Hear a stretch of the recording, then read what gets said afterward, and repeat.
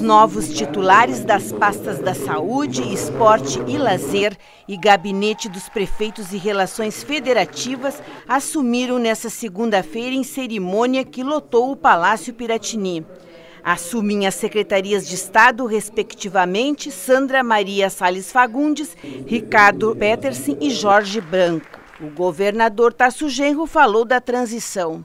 Eu quero aqui render uma homenagem a esses três secretários, o Afonso, o Calil, o Ciro, que prestaram relevantes serviços ao Rio Grande nesses três anos de trabalho árduo. Sandro Ricardo, Petersen e Jorge Branco.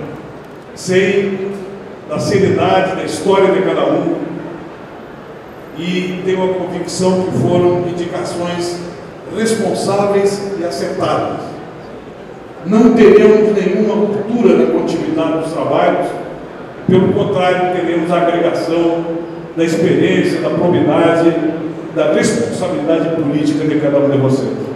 Ao tomar posse, a secretária da Saúde, Sandra Fagundes, falou em continuidade de trabalho. Continuar a ampliação da estratégia da saúde da família, inaugurar e abrir as UPAs em construção, e ampliar os leitos em hospitais gerais e inaugurar o Hospital de Santa Maria.